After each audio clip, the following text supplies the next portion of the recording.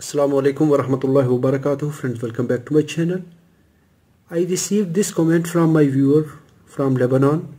He says that I need your help to know the IC number 16 pin of this SMPS 12 volt 80 ampere because it's removed.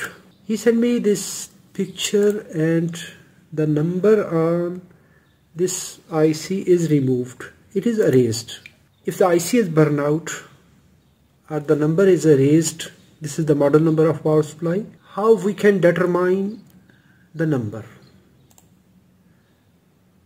We can download these pictures. We will go to downloaded pictures. Okay let's see this one.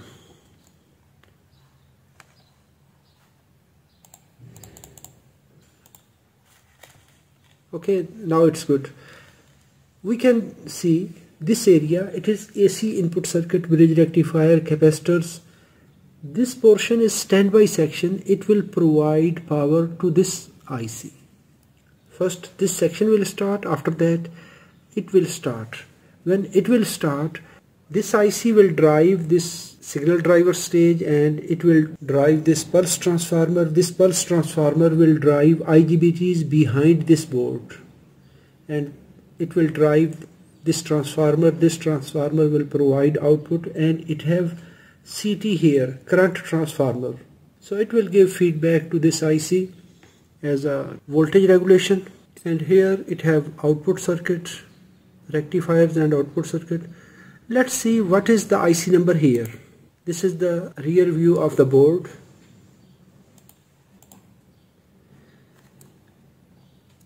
This is the condition of this IC for that purpose what we will do we will use editing tool. I will edit this picture first of all because I don't have the board practically. So I will take this portion of the picture.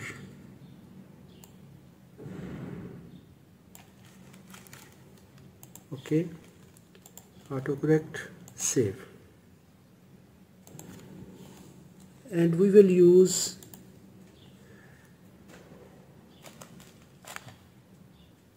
approximately similar portion of this picture.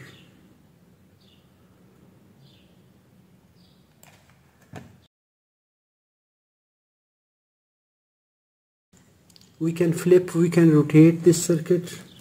Now we will use these two pictures. I can use PowerPoint. We will place both pictures on this slide if you have printer you can print it. First we will align these pictures so that the component location must be similar. Flip this picture flip vertically. Yes it will now good. Yes. Now pin number one is here the same pin number one is here. These two components resistor and this full screen. Pin number one that is top side. So from the upper side we cannot identify anything. If you look here pin 1 that is connected to these components here. Then pin number 2 it have also some components in the same area. Then pin 3 pin 3 is also connected to these components. Pin 4 is blank pin 5 is connected to capacitor. 6 7 8 then pin number 9 here 10 10 is ground. 11 11 is going to this side. These components 1 2 3 4 1 2 3 4 so this diode and resistor it is base driver circuit for these transistors. So we can say pin number 11 is output pin. Pin number 12 ground 13 pin 14 is output pin. Then it have pin number 15 and pin number 16 pin number 15 it is going to next circuit so first we will go to Google and we will check 16 pin PWM controller 1 2 3 4 5 6 7 8 9 10 11 12 13 14 15 16 we will check 16 pin PWM controller IC pin out.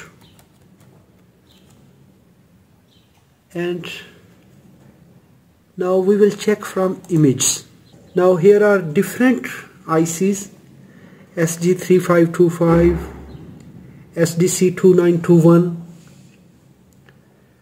LM5026 LTA201P 2524 TL494 now we will check pin outs one by one and we will see the pin out here so if we see pin number 9 10 11 11 is output 14 is output. That means this statement meets to our figure. And if we check pin 1 2 it is inverting and non-inverting. Pin 3 is synchronizing pin pin 4 is oscillator output.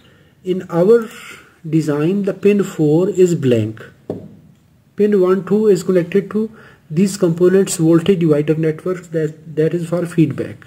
Then pin number 5 6 7 pin number 5 6 and 7 here is 1 2 3 4 4 is blank. Pin number 5 it is connected to capacitor. 6 is connected to this resistor R20 and then it have R16 so pin number 5 CT capacitor resistor and this is dead time control resistor. CT RT and discharge resistor. Same way we can trace supply pins. Pin number 15 supply pin. Pin number 13 is collector voltage.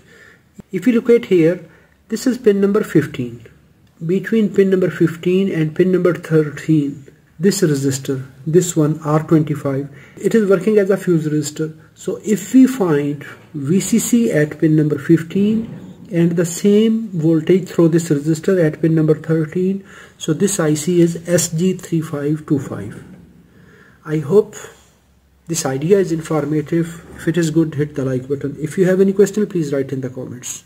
Thanks for watching. Assalamu alaikum wa.